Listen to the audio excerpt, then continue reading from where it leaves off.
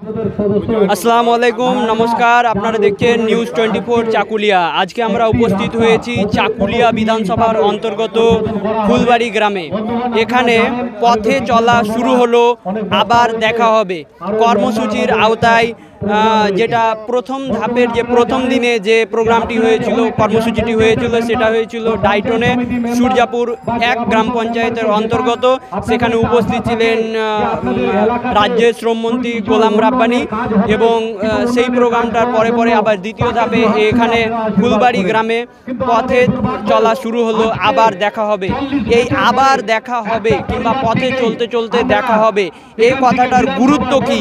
এবং সাধারণ মানুষের সাধারণ মানুষকে বাড়ি, বাড়িতে বাড়িতে গিয়ে নেতারা যে বার্তা পৌঁছে দিচ্ছে, সে বিষয়ে আমরা জেনে নেব এবং এই যে পথে চলা শুরু হলো, আবার দেখা হবে, এই কথাটার গুরুত্ব কি এবং তারা কি তো যেমন কি আপনারা দেখতে পাচ্ছেন দেখা হবে পথে।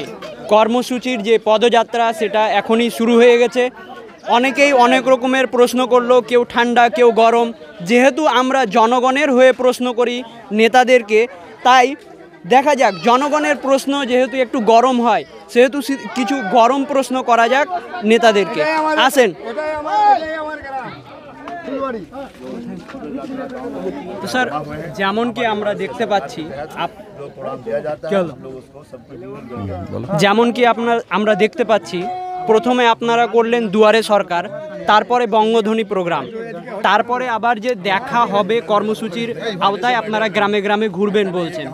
এই যে দেখা হবে কথাটা এ কথাটার কি রাজনৈতিক কোনো গুরুত্ব রয়েছে? হ্যাঁ অবশ্যই।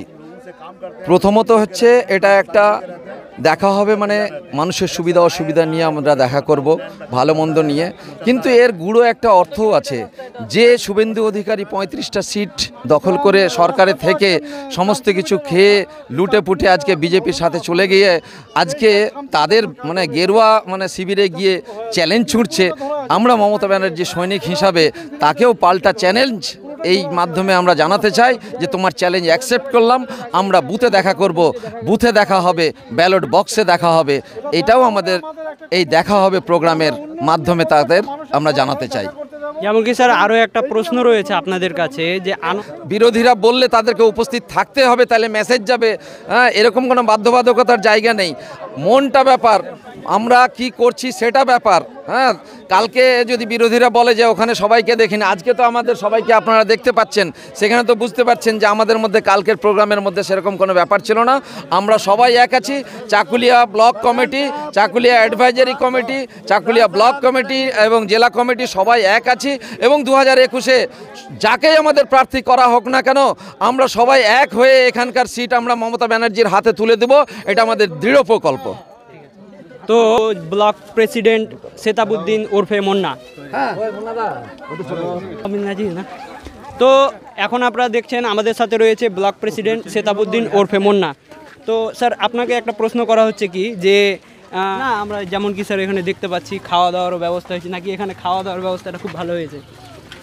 যাক মামাটি মানুষের সরকার মমতা ব্যানার্জি যেটা নির্দেশ দিয়েছে আমাদেরকে যে মানুষকে সঙ্গে রাখো মানুষের পাশে থাকো মানুষের আস আফত বিপদে দাঁড়াও আজকে যারা গ্রামগঞ্জ থেকে এসেছে, অনেক কষ্ট করে এতগুলো রাস্তা হাঁটছে, তাকে তো একটা ওখানকার চাষি, সে খাওয়ার ব্যবস্থা করেছে। দিদির যেগুলো উন্নয়নকে দেখে খুশি হয়েছে, যে আজকে দিদির সৈনিক বাড়িতে বাড়িতে জিজ্ঞাসা করে বেড়াচ্ছে যে কার কন্যাশ্রী হয়নি, কার রূপশ্রী হয়নি, কারও তো রেশন কার্ড হয় নাই, কারও ভোটের ফটো হয় নাই। এই উন্নয়নগুলো যদি কেউ এক এক ব্যক্তি ছুটে থাকে তার বাড়িতে প্রত্যেকের বাড়িতে বাড়িতে যে খোঁজ নিতে হবে এটারই নাম হলো দিদি এটা আমাকে প্রোগ্রাম দিয়েছে এটার নাম হলো দেখা হবে।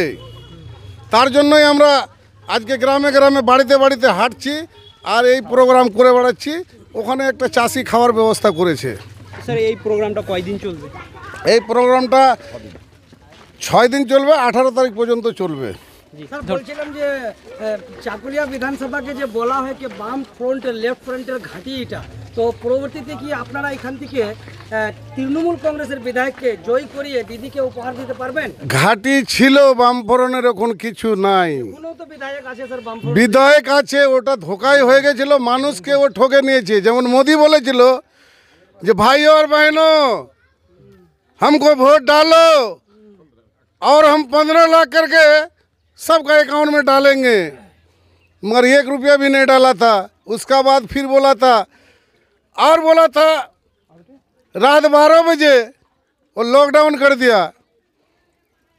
आदमी का इतना दिक्कत हुआ, जो ना घर आ सकता है, ना वो अपना ठिया में रह सकता है।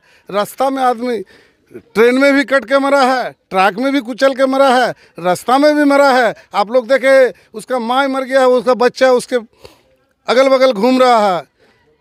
आज मामाटी मनुष्य का सरकार ममता बनर्जी, इतना घोषणा कर दिया, जो जितना चावल दस किलो करके फ्री और एक तो घोषणा और कर दिया है, जो जितना दिन हम सरकार रहेंगे, रेशन मेरा फ्री रहेगा।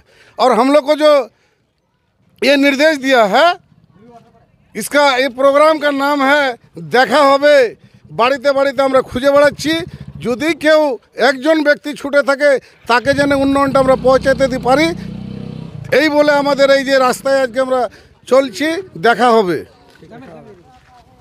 বলছিলাম আকরামদা যে আহ, আহ, মাননীয় প্রধানমন্ত্রী নরেন্দ্র মোদী ঘোষণা করেছে যে পশ্চিমবঙ্গতে যদি বিজেপি ক্ষমতায় আসে তাহলে যে কিষাণ নিধি সম্মান আহ, কৃষকদের জন্য যে যোজনাটা আছে তা কিন্তু দুই বছর থেকে যে মমতা বন্দ্যোপাধ্যায় লাগু হতে দেয়নি ওটা সুদ সমেত জোরে কৃষক- কৃষকদের আমরা উপহার দেব।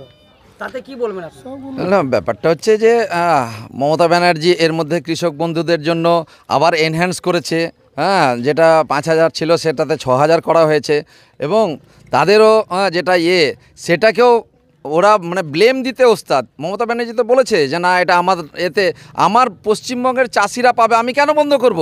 এটা তো আমার পশ্চিমবঙ্গের আমি দিচ্ছি, তাতে যদি কেউ দেয় হ্যাঁ সেক্ষেত্রে তো সেটা মানে অ্যাকসেপ্ট করতে আমার অসুবিধা নেই। সেন্ট্রালের ক্ষেত্রে একটা হচ্ছে পলিটিক্যাল সায়েন্সে রয়েছে যে সেন্ট্রাল এবং স্টেট এ দুটো মিলে সরকার। কতকগুলো ক্ষেত্রে আছে যে স্টেট দেখবে, সেন্ট্রাল দেখবে, কিন্তু কতকগুলো হচ্ছে যে সেন্ট্রাল স্টেট দুটো মিলেই দেখে। তো সেক্ষেত্রে তো একটা সম্পর্কের জায়গা আছে। প্রশাসনিকভাবে যদি সেন্ট্রাল দেয়, আমরা অ্যাকসেপ্ট করতে মমতা ব্যানার্জি বলে দিয়েছে যে সেটা আমরা মানে পশ্চিমবঙ্গের জনগণ, আমি পশ্চিমবঙ্গের মুখ্যমন্ত্রী, জনগণকে দিলে আমি নেব না কেন? অবশ্যই নেব। ভরসা